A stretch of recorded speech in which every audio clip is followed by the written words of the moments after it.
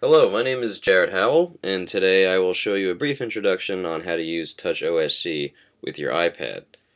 Now when you have the Touch OSC editor open, you'll have the ability to choose whether it's an iPhone or iPod Touch. We'll just go ahead and choose iPad. And very simply, you just right click on this layout and you'll have all of these options. Now, what I suggest is going through and just adding, you know, one of each, maybe customizing it. You'll see when we put up, you know, any of these, we have the choice of changing its color or the size. You can just click and drag here.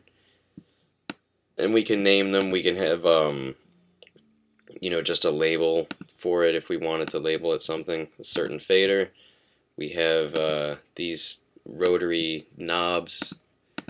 And once you have your layout set, you want to go ahead and sync. You click sync on your computer.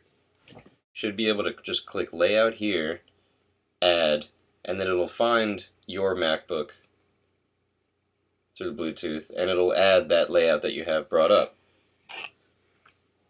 So we'll see that when we click over to, to that layout that we just added, I've got it on my computer, or I've got it on my iPad now.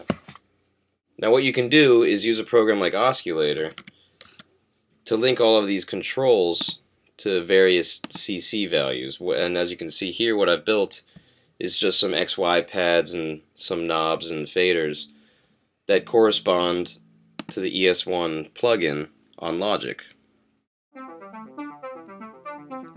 So if I go ahead and I choose my ES1 layout, you'll see that I can control this cutoff. I can control cutoff resonance with this XY pad.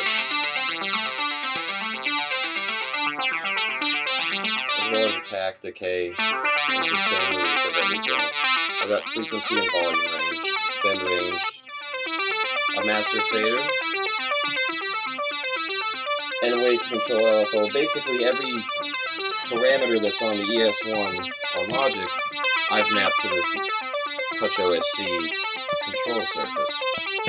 We can go through here and click presets and go through each one.